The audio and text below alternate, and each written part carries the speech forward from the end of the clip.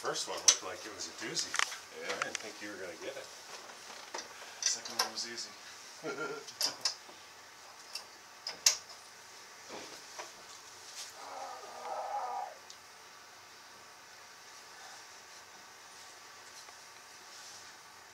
How much weight you got on right now?